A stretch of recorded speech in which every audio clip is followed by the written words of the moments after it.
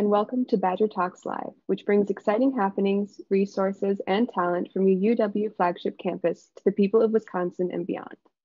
I'm Erica Noble, originally from Ann Arbor, Michigan. I'm a PhD candidate in the Biological Anthropology program studying the sacroiliac joints in humans and non-human primates. I'm pleased to introduce Vilas Borghesi Distinguished Achievement Professor John Hawks, who will be sharing insights into new mysteries of human origins and how enormous advances in our understanding of human evolution have opened new windows into our past. John is a paleoanthropologist specializing in human evolution and genetics across the last six million years.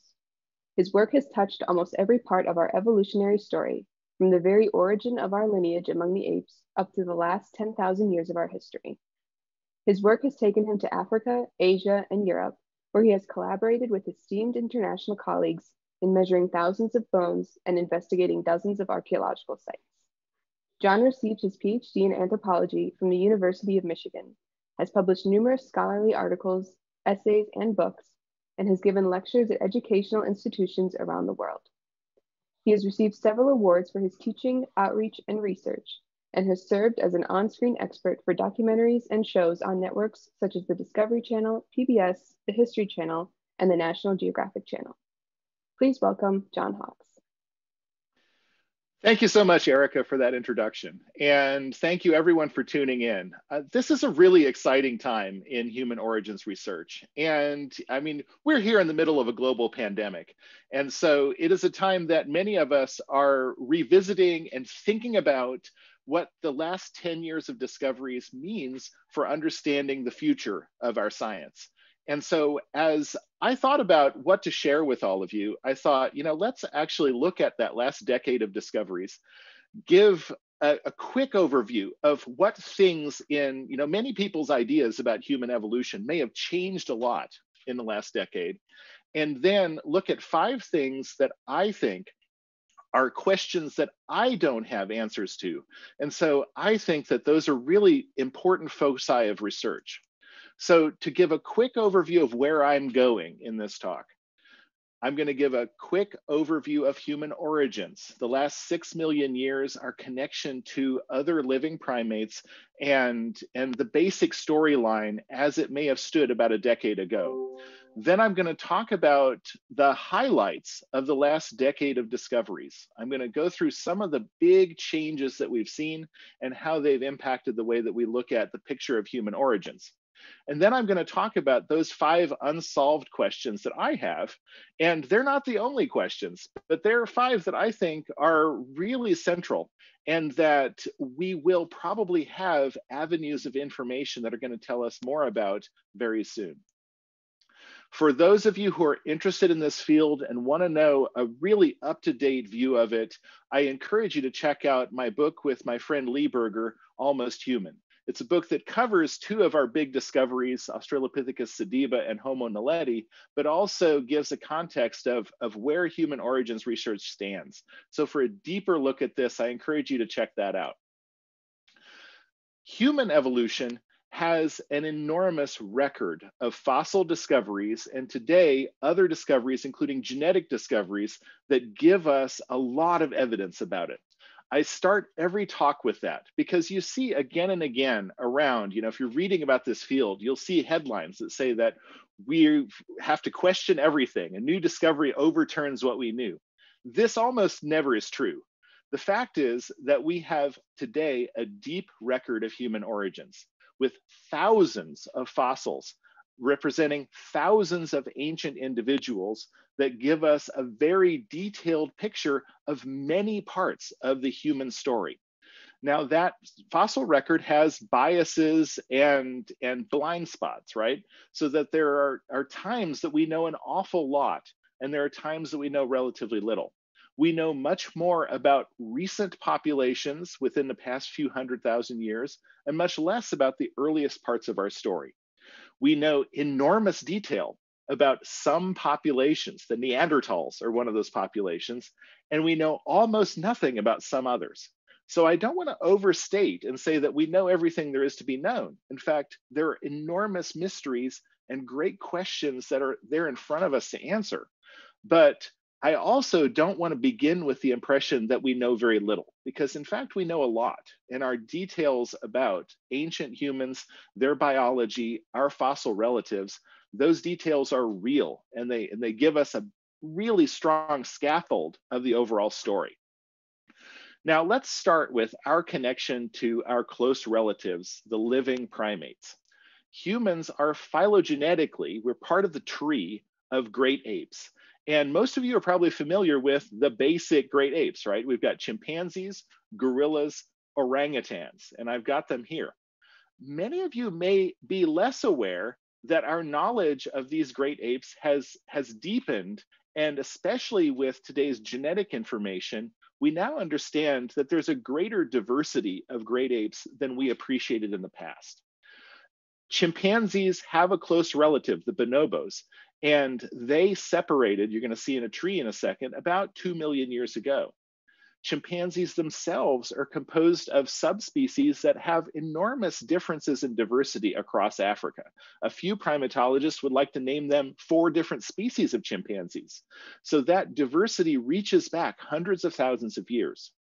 Gorillas likewise have two big branches, lowland gorillas, gorilla gorilla, and, eastern gorillas, both eastern lowland and eastern highland or mountain gorillas, gorilla beringei.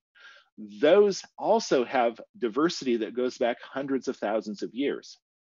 And orangutans are actually today composed of three species, Sumatran orangutans, Bornean orangutans, and a, a, small population on Sumatra known as Tapanuli orangutans. So the history of these and their relationship with us goes back millions of years. Chimpanzees and bonobos share a common ancestor about one to two million years ago. Gorillas, eastern and western gorillas, share an ancestor between about 400,000 and a million years ago. Orangutans Sumatran and Bornean orangutans about 400,000 to a million years ago, and the Tapanuli orangutans between two and three million years ago, branching from them. So we've got a million years, two million years, up to three million years of diversification of all of these primates. Humans are our closest living relatives are the chimps and bonobos. And our branch, the hominin branch, separated from them something like six to nine million years ago. Gorillas are our next closest relatives, and then we share ancestors with the living orangutans between 12 and 14 million years ago. So that's our situation in the tree of relationships of living primates. That means that we have something like six or seven million years of our lineage and its diversification. And we have a rich fossil record of our lineage. Beginning from seven to four million years ago, we have human relatives that we found in Central North Africa and in Ethiopia that represent branches that are clearly on the human lineage. These are branches represented by species like Sahelanthropus tchadensis, Ardipithecus ramidus. Between four and two and a half million years ago, we have an array of fossils that belong to species that we call Australopithecus. Australopithecus afarensis is a well-known species that includes the Lucy skeleton, around two, around 3.2 million years old. Uh, Australopithecus africanus is a well-known species in South Africa, where I've done a lot of field work that is between about three and two and a half to two million years old. These species share with us our upright bipedal form of locomotion. And so if we looked at the first third of our evolutionary history, we have species that are human-like in their teeth in some respects and in some aspects of their lifestyle, but not obligate bipeds, not upright walking on the ground as we are.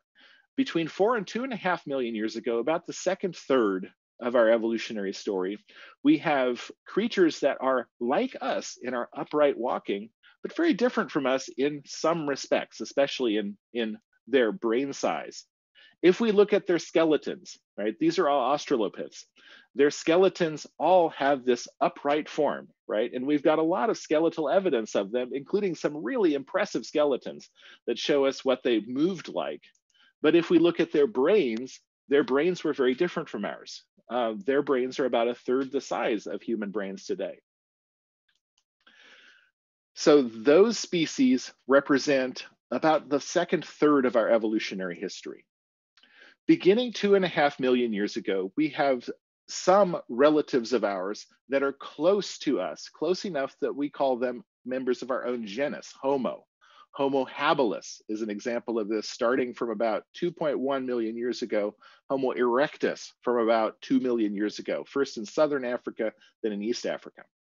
We also have during this time frame uh, a set of species that are human-like in their locomotion, but are very different from us in diet these species that we call Paranthropus or robust Australopiths, here we have Australopithecus boisei, Australopithecus robustus. These species have really big teeth, massive jaws, but, and so they're very different from us in terms of their diet, but they are similar to us in being upright walking. So we have a diversification of the hominin lineage at the same time that our genus Homo arises. Once Homo arises, one of the great things about, about Homo is that it begins to disperse around the world. So this skeleton from Dmanisi, a site in, in the Republic of Georgia, is one of the earliest to be found outside of Africa. Before this, our homeland, the human lineage, originates in Africa only. And so the diversification around the world is something that we see with our genus arising, the genus Homo. When we look at the skeletons of Homo, I have one here on the far left, the Turkana boy skeleton from Kenya, around 1.5 million years old, compared to Australopithecine skeletons. And you see that he's taller. And this kid is, is about a nine-year-old kid. And you see that he's already taller than most of these Australopiths are. You know, this is something where our lineage, the, the human lineage, Homo, has within it upright walking and long distance walking and running as, as fundamental. What we abandon is some of our ability to climb that earlier hominins had. So we also begin to get slightly larger brain size. But I got to tell you that the earliest members of Homo are about 600, 500 of 600 cubic centimeter brain sizes. They're not like people today, 1200, 1300, 1500 brain, cubic centimeters. Um, they're less than half of the brain size of people today. And so brain evolution is something that is really important in some branches of our genus within the last 2 million years. Starting around a million years ago, up to 600, 600 500,000 years ago, we have a diversification of larger brained members of our genus. The most famous of these are the Neanderthals. And I wanted to show you this slide. This is my friend Jakov Radovcic uh, from the Croatia Natural History Museum at the, at the top left. Um, this is the Krapina collection of Neanderthals. And I just wanted to emphasize we have some enormous fossil samples of Neanderthals. We know a lot about them. His, this, these fossils from Sima de los Huesos in Spain, around 430,000 years old, again, early Neanderthals. We've got a lot of evidence of these guys. We know a lot about them. And, and that knowledge has translated a lot of it into the public awareness. So we continue to know more and more details about Neanderthals. Their lives are fascinating. A lot of people take away from human origins that what I should know about is Neanderthals. And the first big discovery that I'm going to talk about of the last decade, Neanderthal DNA, is one of those that's adding detail to our understanding of these components of human origins. Between about 300,000 and 200,000 years ago, our own species, Homo sapiens, modern humans, emerges in Africa. And so at the same time that we have a diversity of hominins like the Neanderthals in other parts of the world, we have our species arising in Africa. And so that last component of our evolutionary history, if you asked me 10 years ago, you know, what do most people understand about this? It's that there's a branching and our species, Homo sapiens, is an African species, again, returning to an African origin. So if we look at the tree of relationships of these fossil human relatives and ancestors, that tree is a complicated one. It's got many branches. And those branches, we don't know exactly the connections between all of them. So I can say generally, our lineage, the Homo lineage within this, this hominin family, has a common ancestor. But how it's connected and exactly which species are branching after that is presently unclear.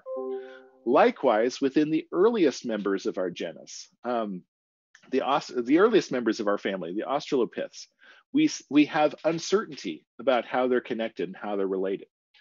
Okay, so that tree now, I want to focus on how present discoveries are changing that tree.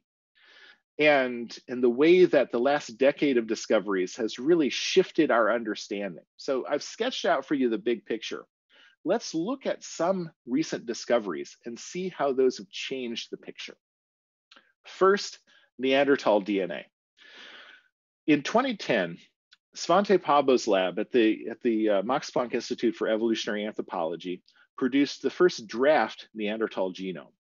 Neanderthal genetics has progressed enormously since that time over the last decade. And so it's difficult to summarize in a few words what we've learned about Neanderthals and their, and their genetics and their connections to us. A genome contains 3 billion base pairs of information, right? That's, that's you know, like more, it's like six gigabytes of information on your, on your hard drive, right?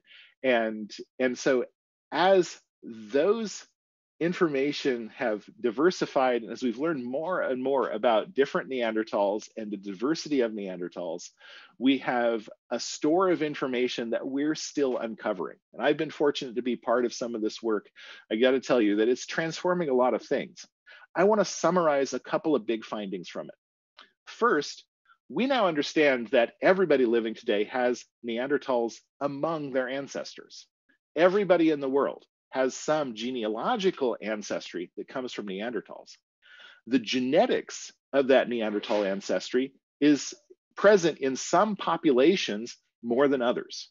Populations that have historic ancestry outside of Africa, from Europe, from East Asia, Southeast Asia, Oceania, the Americas, and, and North Africa have around 2% Neanderthal genetic ancestry.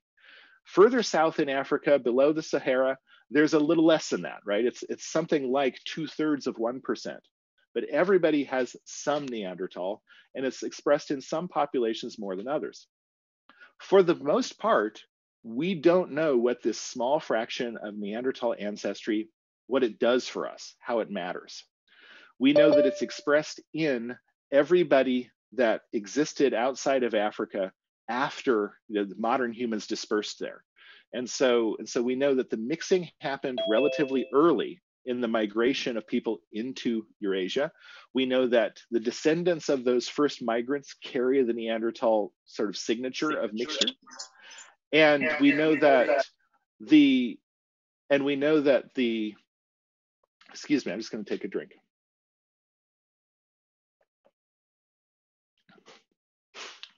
And we know that the very first Europeans have a little bit more Neanderthal than other people. So mixing is part of the heritage of everybody. In terms of what these genes do for anybody, we know that immunity is important and that innate immunity is something that many present day people have functional genes that have come from Neanderthals. We know that there are genes related to skin and hair and, and pigmentation that some people have got today that, that are functional that come from Neanderthals.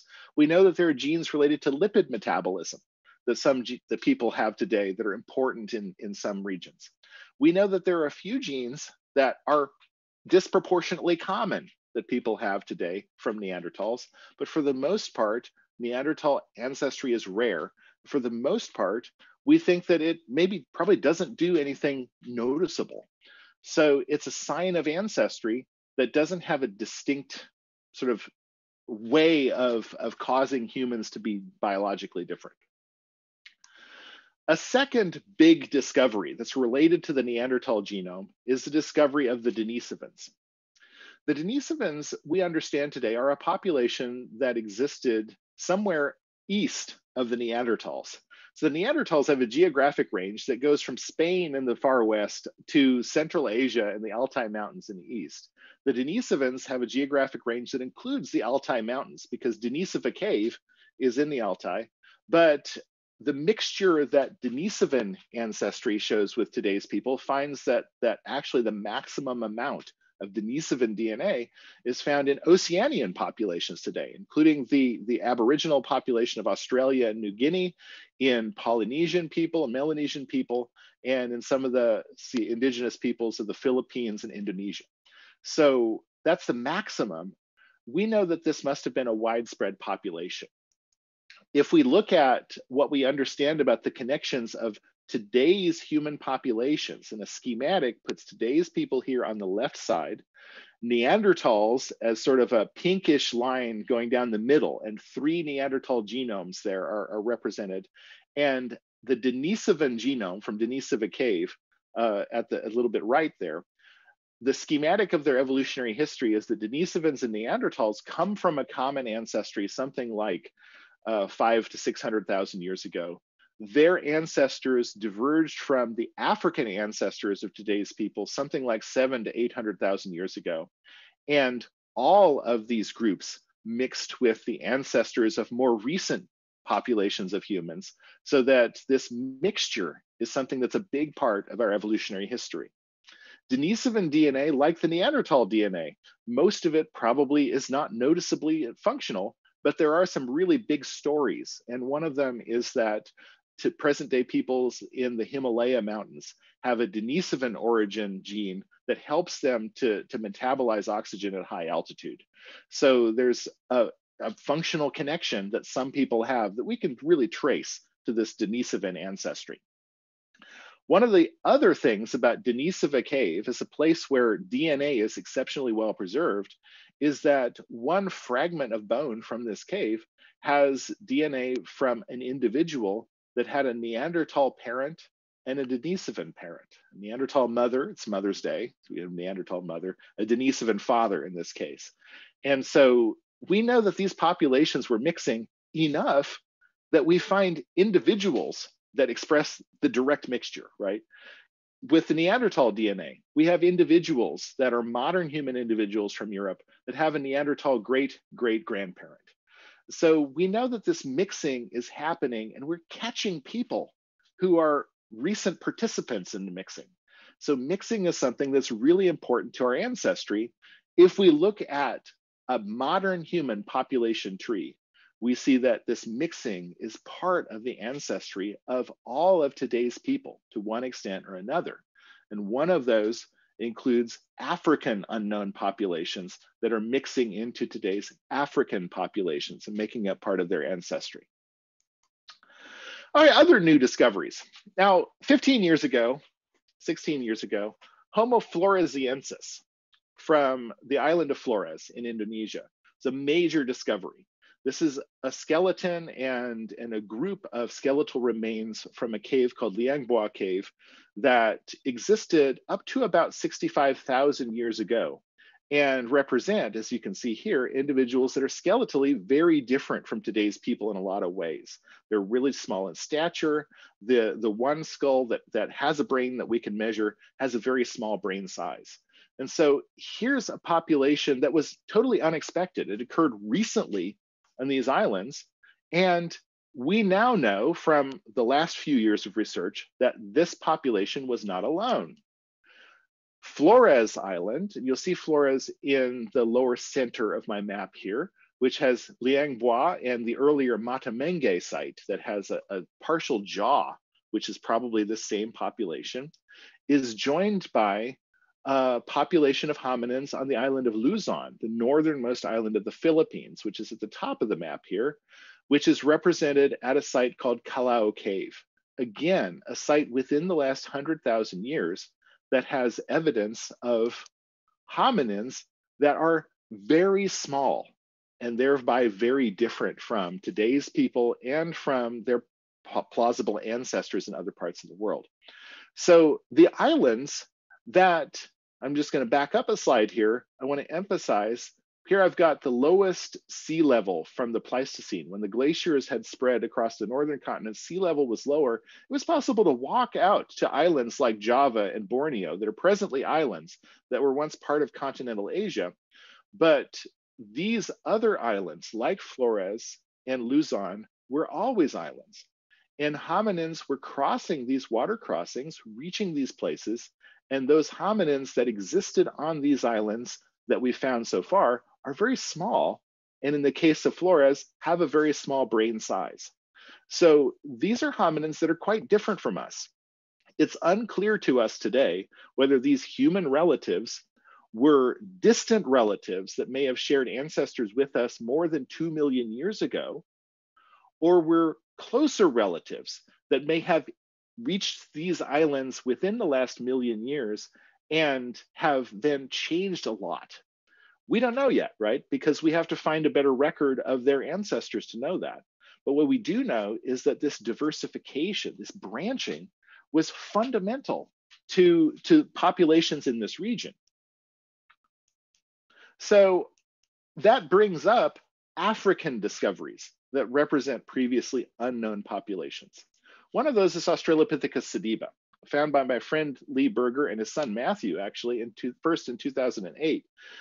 Australopithecus sediba is a species that existed around 2 million years ago, has some more human-like elements than the earlier members of Australopithecus, but especially emphasizes a skeleton that has a mosaic, as we call it, a mixture of features of ancestral hominins, very ancient hominins, and more recent hominins. Sediba is establishing a picture that, that I want to reinforce because when we look at other recent discoveries, and I'll show the Littlefoot skeleton here, uh, which is just at the left of the, of the graphic. The Littlefoot skeleton is a skeleton that was first found in 1996, but has only recently been brought out of the rock that it was encased in and, and made apparent to the scientific community. This skeleton also, it's about two and a half million years old, has a mixture of characteristics the Homo naledi skeletons, I'll talk about that in the next slide, have a mixture of characteristics. One of the big discoveries from these skeletons that are adding evidence of hominin species from across their whole body is that the features are not lining up with a tree that's easy for us to understand. The features are lining up in ways that, that seem to conform to possibly different trees. So when I showed you first the tree, and I said, we don't know how these things go together. One of the big reasons for that is that different parts of the skeleton are telling us different things about how they go together. So Homo naledi, a big discovery that I was fortunate to be involved in several years ago from the Rising Star Cave system of South Africa is another of these major discoveries. Homo naledi, around 200 to 300,000 years old, existed in Southern Africa at the same time that our direct ancestors, the early members of our species, Homo sapiens, were evolving. But this species is highly different from us.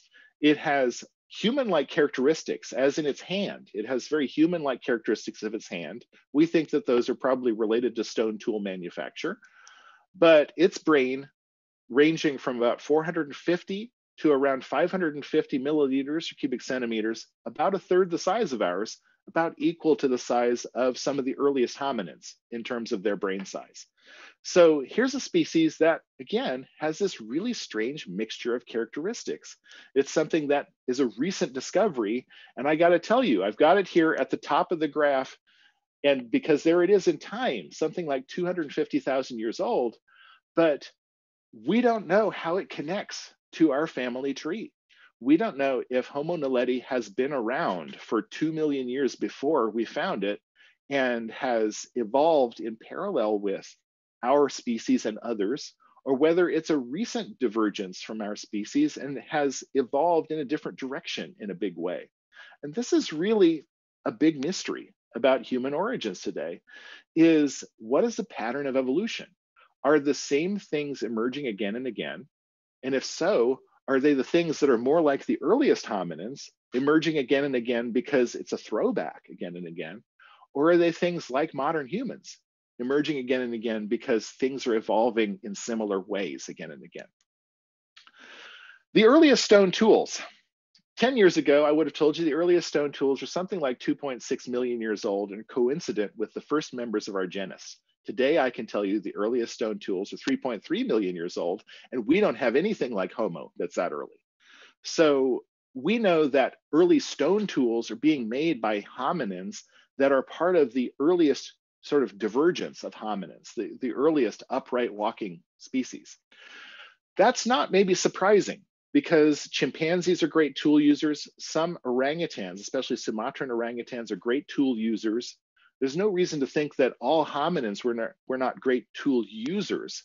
We've looked at stone tools as being special, but actually stone tools are part of a broad repertoire of technology. And if there's one thing that's that's true about technology, it's that species pick it up and invent things again and again. And so probably that's what we're looking at with humans. I want to say a couple of words about some of the earliest hominins, the earliest part of our story. Ardipithecus ramidus, whose skeleton was first made available to the scientific community in 2009, is a species that has a curious mixture of features that have some things that are very much chimpanzee or gorilla-like. Uh, you can see there the feet of this skeleton and how they're they're placed there with diverging toes. That's not just random. Their feet are grasping feet. Their hands, you can see the fingers on those hands, are chimpanzee or gorilla-like hands with very long fingers, very strong tendons. Um, but a pelvis that has some aspects that indicate a more upright posture. So that's why we think it's a relative of ours. It's it's sort of changes in the pelvis, the base of the skull, and the teeth, but it's not very much like us. And the first third of our evolutionary history was made up of species that may have been like this, not very human-like. So let me transition to these big questions that I have. I've sort of summarized some of the some of the, the, the new discoveries and how they've shifted the way we think about things. Let me leave you with five questions that I have that I think are big questions and that, that show you sort of the depth of what we don't know today about human origins. The first of those, we've discovered in the last decade, Australopithecus sediba, Homo naledi, Homo floresiensis, Homo luzonensis, the Denisovans. Some of these are species that existed within the past 300,000 years, right? This is the time that our species originates that we know what's around. Modern humans are there. I would have, or almost anybody in our field would have told you 10 years ago that when modern humans show up, we're trouble, right? We disperse around the world. We're a tremendously successful species. We wipe out all of our competition. But actually, now it's clear this didn't happen. Modern humans were themselves diverse. There were branches of our close relatives within Africa that were mixing with us until recently. Modern humans, when they dispersed, mixed with other populations. And there are very different species like Homo naledi, Homo floresiensis, that are hugely different from us that are still existing with modern humans, including within Africa. When we look at the tree of what we know about, and this is a tree that's drawn from genetics, right? This tree shows us that there are lineages both outside of Africa, the Neanderthals, the Denisovans. I'm just, I haven't made three lineages of Denisovans there as an accident at the bottom of the graph, right? Those three lineages of Denisovans really are diverse lineages. We've got evidence of separate mixtures with the ancestors of, of today's humans in different parts of Asia, Southeast Asia. And those different mixtures represent populations that are more different from each other, the Denisovans, than anybody living today is. So there's three kinds of Denisovans. There's a couple of kinds of Neanderthals that are more different from each other than any two populations that we know about today in terms of genetic distance. There are super archaic populations that we only know about because they mixed with the ancestors of Denisovans or Neanderthals. Now, this is taking a little bit of calculus, I would say, to our, to our genetic data to say, wait a minute, this genetic data shows us a population that we know about from, from an actual genome, but that actual genome, if we put it on a tree, doesn't fit very well. And the way to make it fit better is to is to understand that wait, there's something else here that's not represented in the tree. And that's how we make these inferences about these super archaic, these ancient populations. We know that there were multiple ones of them that contributed to the ancestry of these groups. And by the same methodology, we know that today's African populations have branches that go back very far that are not represented in today's people. So these branches of our ancestry that we know about from genetics, they're there. Some geneticists call them ghost populations because we know that they're there because they leave footprints that we can see. But otherwise, we haven't yet placed them in the fossil record. It's a big question. How many of them were there? And I got to tell you the truth, we don't know. If you ask me how many do I think there were, I think that there were at least a dozen of them and that we have only begun to find them. How did those populations, if they're mixing all the time, how did they retain their diversity? This is a big question, right? I'll take you back to the Denisova cave, where we have evidence from one cave system of two ancient populations, the Neanderthals and the Denisovans, that are separated by more than 300 to 400,000 years of evolution, and yet hybridized in a way that we find the hybrid. If we're finding the hybrids in our fossil record, which, good as it is, still represents only a handful of individuals, they can't be rare. Hybridization must have been quite common. If hybridization was common, why didn't these populations blend together? We don't know the answer to this. It may be that it's fundamental in the geographic ranges of these populations, that there were areas like Central Asia, perhaps, where they were flowing in and didn't flow out, that as a population sink. That's a possibility. It may be that they were adapting in some parts of their range faster, and so we're continually replacing other parts from these central places. It may be that these differences reflect geographic refugia that were important when glaciations spread and, and limited populations. But whatever is true in this part of the world, it also must have been true in Africa. For species like Homo naledi to have persisted for as long as it did alongside our own species, it suggests that there's some important component of our evolution that is creating and encouraging these kinds of diversity without allowing the populations to blend together. We keep finding now populations late in our evolutionary history that have small brains. Now, 10 years ago, none of us really thought that this was going to be possible. And this raises a question of what is the real importance of brain size, right? Here's Homo floresiensis on the far left compared to a late Homo erectus, or maybe Denisovan individual from Java. Those two lived at the same time. They're really different in brain size. Two African larger brain hominins here on the right side, uh, one from Omo, an early modern human, one from Kabwe, uh, an archaic human, compared with two Naledi skulls on the bottom right. These all existed together. All of these existed at the same time, they're all competent. They're all able to survive for a long time in, in if not geographic synchrony, at least geographic contact with each other. What is going on? 10 years ago, anybody would have said that human evolution is a story of gradually increasing brain size. And, and that pattern is super obvious, right?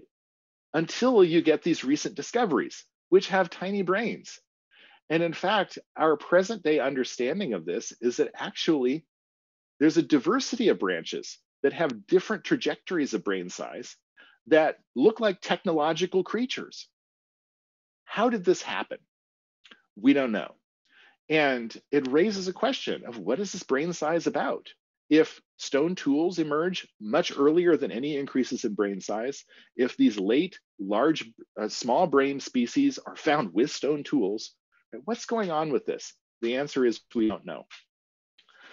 Early discoveries, such as Ardipithecus, right, which have this mosaic of anatomy, that mosaic comes from a diversity of locomotor behavior. They're climbing, they're walking upright on the ground sometimes. there are different lineages of them. Those lineages hang on for some time. What was that diversity like? And how did it enable our own lineage committed to upright walking and running? How did it enable that lineage to, to persist and diversify? We don't know the answer to this. We really, when we look at skeletons and they're not just like humans, we say, well, they're climbing. But we don't know exactly what that means in the repertoire of these creatures. After all, today's humans climb. My kids climb in the playground. And so there's a diversity of behavior today.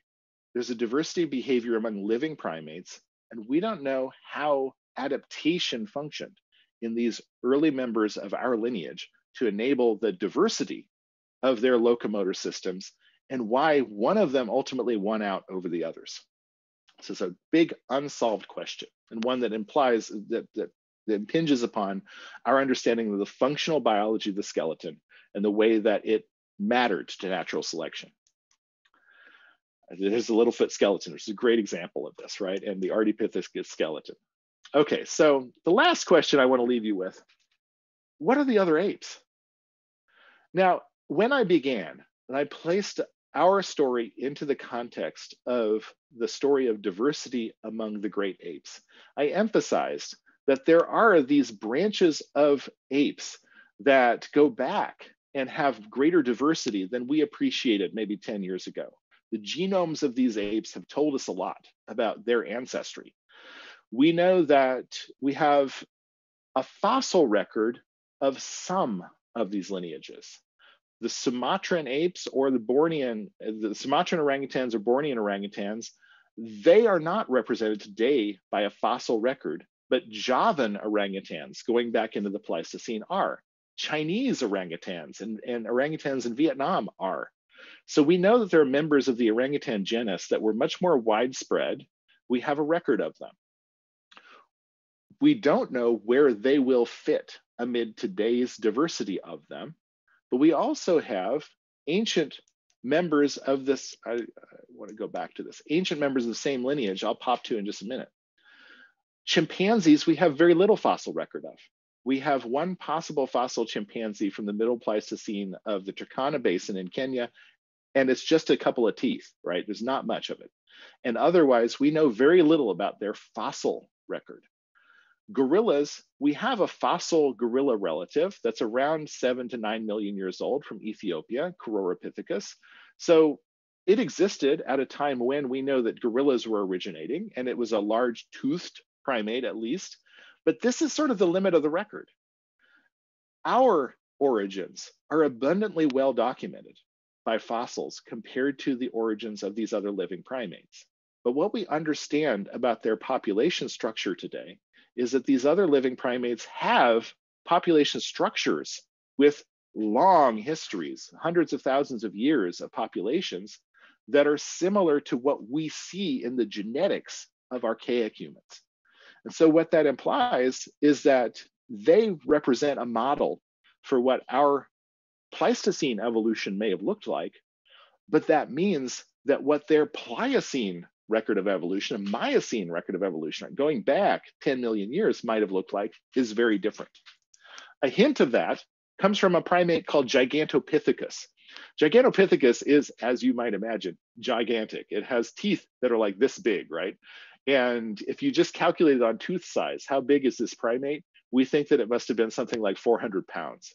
Now that may be misleading, right? Because maybe the teeth are just big and the primate's not as big.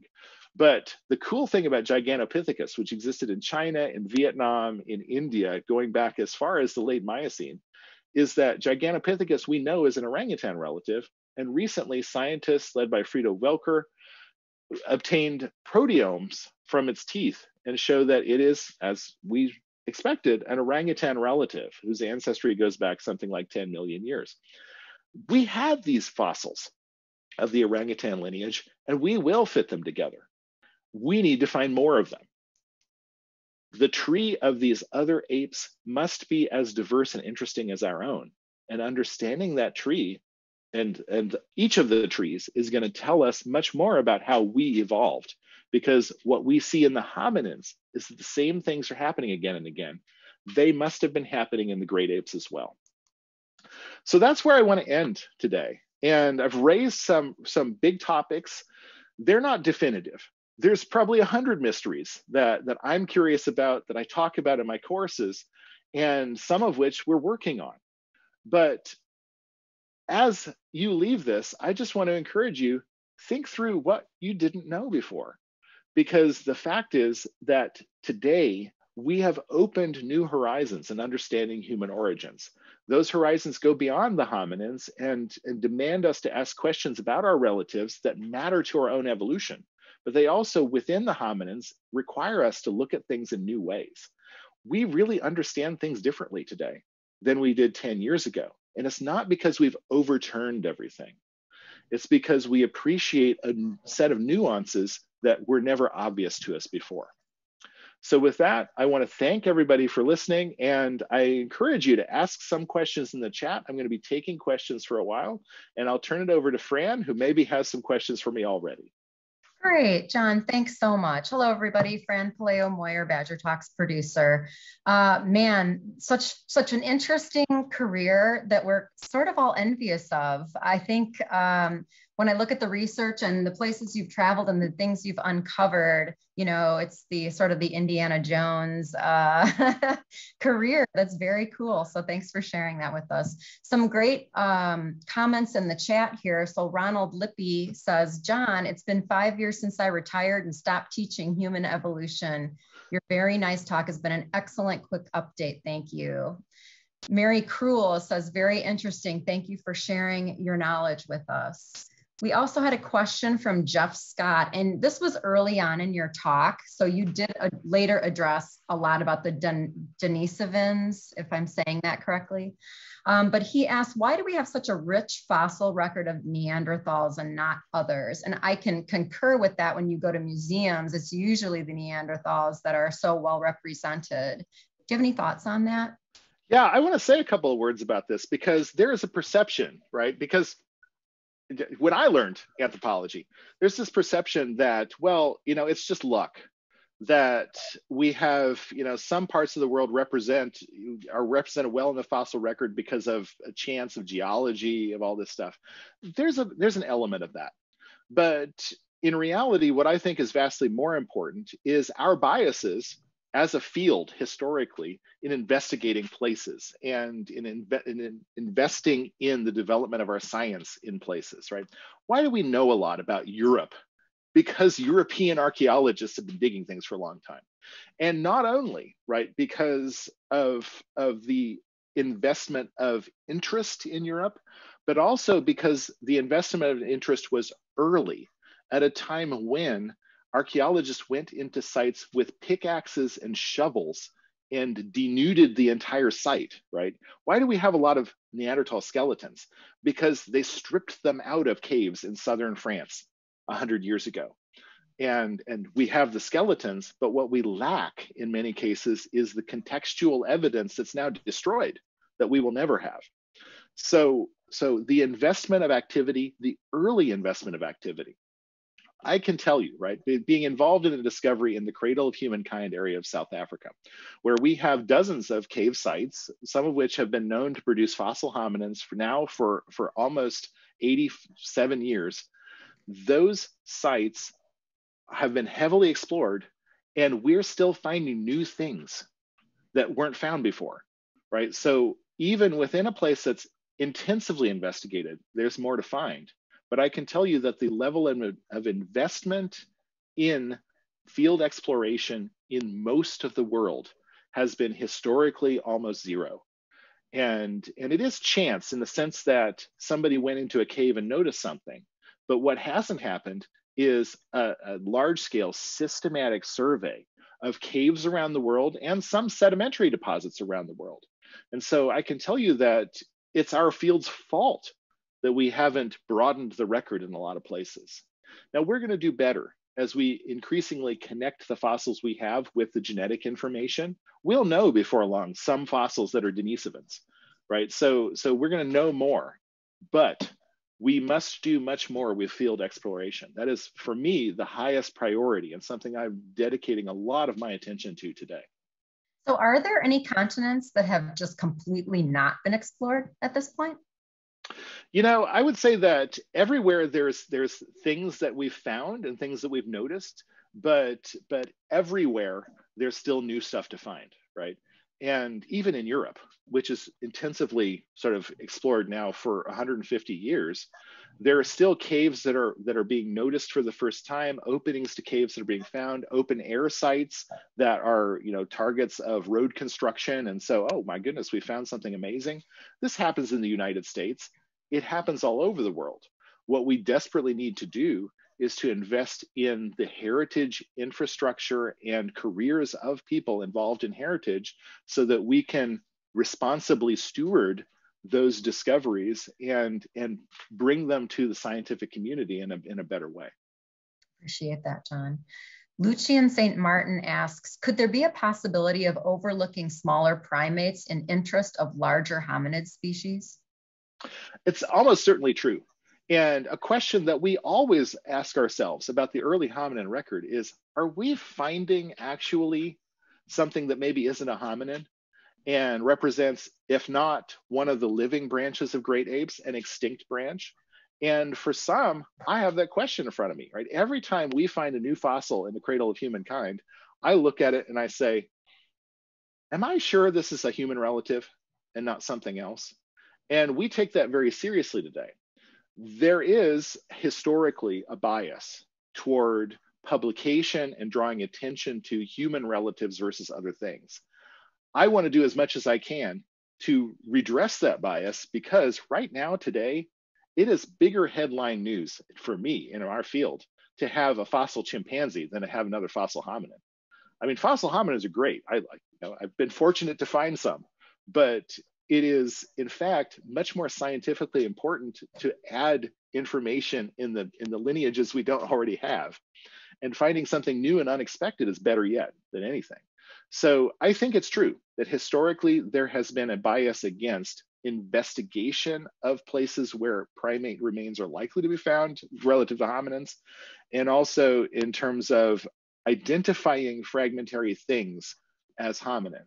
But I also think that right now the scientific attention is so strongly on finding representatives of these lineages that if there's something in a museum that's uncertain we would have turned it up by now. So the fact is that what we need is field exploration to find these. Thank you. Lily Houtman says, hello, Professor Hawks. Have there been any updates on Homo luzonensis since its discovery about two years ago? Yeah, so luzonensis was first published about two years ago, and it's a major discovery, right? And I got to tell you that that a series of finds on Luzon, including uh, evidence of stone tools and cut marks more than 700,000 years old, have really established that hominins were in the Philippines early. There is not an update, right? We don't have new published information about this. And I'm waiting eagerly, right? Because you know, obviously finding things, skeletal remains in the field is a rare event and we can't count on it and, and so waiting for these things is sort of like waiting for the pot to boil right? It might never boil. Um, but we do have a lot of clever ways of pushing research on things and i expect that we will see some additional research on the luzonensis material that will tell us some things that we today maybe don't know. Um, and i'm waiting for that. Uh, but i got to tell you with remains like this that are in, that there's only so far a couple of individuals represented they're you know we're very hesitant to to sample destructively things to find out proteomic information or things like that. So we take every decision about the next step in, in technology very seriously where i work in in south africa. And i'm i know that that's equally true in the philippines equally true in indonesia right? Everywhere that we that scientists work with fossil hominins we think about how to advance the science we also think about how to responsibly steward the science for the future. Talk a little bit about collaboration. Uh, I noted in the biographical material that you sent, you talked a lot about research sort of being left open for others to expand on and collaboration that way.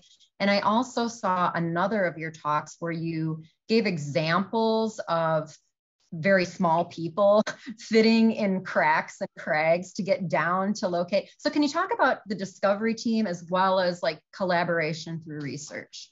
Yeah, absolutely. I mean, uh, the work that we do in the Rising Star Cave system is a great example of collaboration. Um, you know, I work, at, obviously, I'm based at the University of Wisconsin, but I'm also a, a real staff member at the University of Witwatersrand, where I'm in the Center for the Exploration of the Deep Human Journey uh, with my friend and collaborator, Lee Berger, who's the head of that center.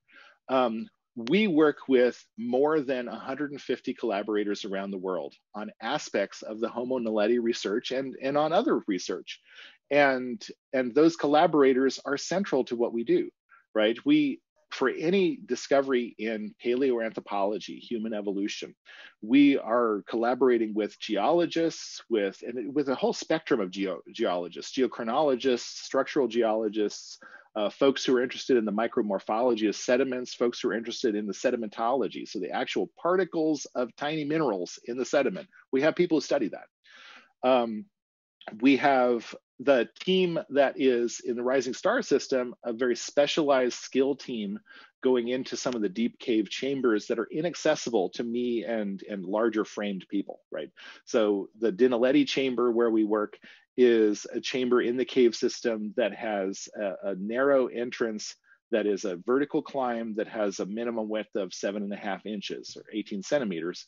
It's something that it takes a very specialized skill set, and we have amazing people in the field uh, who who are you know working in the cave system and are you know able to do this. And so that that collaboration is essential. Um, we have collaborators who work on every aspect of the anatomy of the fossils. We have collaborators who work on understanding the trace evidence from the surfaces of the fossils. We have folks who, who can tell the tiny marks that a snail makes with its little teeth compared to insect marks, right? Every bit of this research involves people who have unique skill sets and who work together. And this is true throughout everything in paleoanthropology today right? If there's one thing that I want to you know leave people with it's it's to debunk the idea that this is like indiana jones right if you imagine indiana jones sitting in a conference room with a couple of dozen other people talking about the tiny marks the snail makes you know then you're, you're more along the lines of what we do you know because we're thinking through how do we collect the evidence that really tells us about the maximum information that we can get about the context of these hominins. With Homo naledi, it's a special situation where we know that the hominins were using the deep parts of the cave system and we're trying to work out, did they bury bodies there? Were there some kinds of cultural practices that we can uncover with contextual evidence from this site, right? And those are things that are hard for us to grapple with scientifically. And so to do it, we rely upon collecting high resolution data making that data available to our own team of collaborators. And once we are publishing, making it available to the broader scientific community and the public so that every step along the way is documented. And that I think is fundamental today to understanding and to working with heritage. The fact is that I look at the past, at archaeologists from 150 years ago that went into caves and were excited about what they found and dug through them and unearthed them and put the skeletons in museums. And they did, you know, they did me a favor in a sense, in the sense that they recognized the importance of something. They they conserved some of it, but they destroyed much of it. And we deal with the legacy of that destruction, knowing that archaeological work is always a trade-off of how much information you can gather from things versus the inevitable disruption or destruction of the site that you're working. And we do this to advance the science and to conserve as much as we can. And so that trade off of advancing the science, broadening the understanding of heritage, being responsible stewards of heritage, digging what's necessary to, to advance our knowledge, and leaving as much as possible right? That trade off is one that involves an entire community of people who talk, interact, interact with government authorities in every nation where we work. And, and that's something the public should understand that it's not just making a discovery and putting it in a museum. It is actually an entire set of conversations at levels beyond the scientific level, but including deep conversations at the scientific level about what we do, why we're doing it, and, and how we make responsible decisions at every step to advance the science. So that's something that, that the public should engage in. And your interest in this and watching things like this is the first step in that. But oh. as you get interested in it, you should reach out and engage.